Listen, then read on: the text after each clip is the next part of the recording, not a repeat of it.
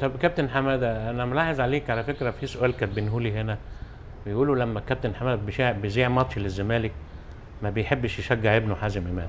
أنا ملاحظ عليك بقى إن أنت بتحاول تهرب من حتة أهلاوي زملكاوي دي فبتبقى محايد جدا.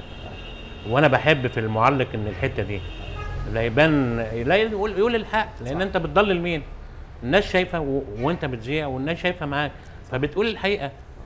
ف- والله يمكن يا أستاذ يونس ده الكلام ده صحيح. حقيقي وأصعب موقف مر عليا آه، ك- جرت العادة في التلفزيون إن حمادة إمام ما يذاعش للزمالك والأهلي ولا الشربيني يعني ما ينزعش آه. يجيبوا تبني كابتن جويني أو كابتن محمود بكر الناس محايدة اسكندرية فمرة قالوا الله طب ليه؟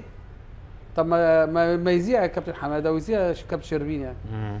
ففعلا آه، يعني ما فيش شك إن المعلق كل معلق ليه نادي.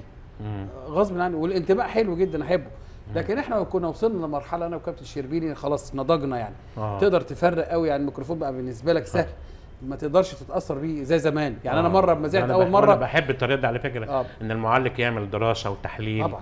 ويجيب تاريخ ده والتاريخ ده الحقيقة ده دلوقتي بقت تساعدنا المعلقين جداً. الكبار بيعملوا كده والصغيرين برضه والله الإنترنت دلوقتي بقى آه. موجود ما شاء الله آه، يعني آه. خلاص كنت الأول بشيل يا أستاذ يونس ملفات قد كده عندي في المكتب. آه. دلوقتي خلاص رميت كله. والإنترنت في خمس دقايق.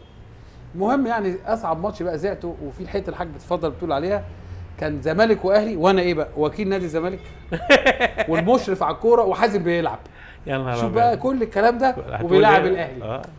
والله يا أستاذ اهرب منها وقول اللازمة بتاعك. يا ولد يا ولد يا ولد يا ولد. لا ده يعني يمكن الناس كلها بعد الماتش ده حيوني ان لما حسيتوش شعرة تعصب لنادي الزمالك.